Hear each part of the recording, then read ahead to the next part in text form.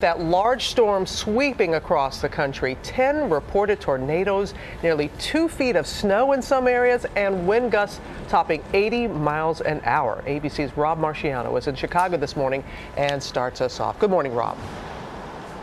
Good morning, Robin. The winds have been howling all night long here in Chicago. The flags here along Michigan Avenue, for the most part, have been horizontal. We've had a 49 mile an hour wind gust at the airport, 53 miles an hour in West Chicago. Even the big Skyway Bridge, parts of it shut down due to flying debris. And that's just the wind. Already this storm whipping up snow and severe weather across the Midwest.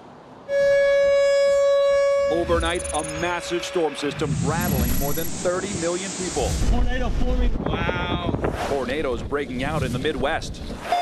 Tornado warning. Tornado on the ground. 10 twisters reported in Iowa alone. Wow, look at that thing. One of them ripping through this farm. Sheet metal sent flying, landing on top of trees, flipping vehicles, big and small, one after another. And unleashing a string of lightning bolts.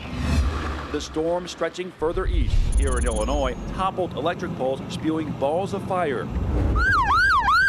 And down south, watch as high winds up to 70 miles per hour cause these power lines to clash, instantly bursting into flames.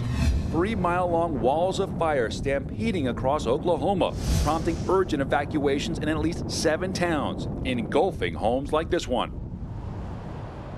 And winds here in Chicago and across the Great Lakes really expected to blow all day long, even by Windy City standards, Ginger. As you know, this storm is a big one.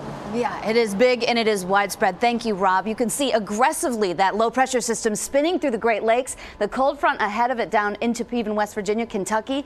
It's going to keep moving to the north and east, and with it will come some significant wind. That's why we see wind advisories from North Dakota to North Carolina, all the way to western New York. I think the Great Lakes going to feel it worse today. You can see some of the wind gusts later this afternoon along the lakeshore in Michigan, 50 miles per hour at Grand Haven. Look at Buffalo, up to 48. That blustery and I mean cold wind is going to come right here as we kick off the weekend.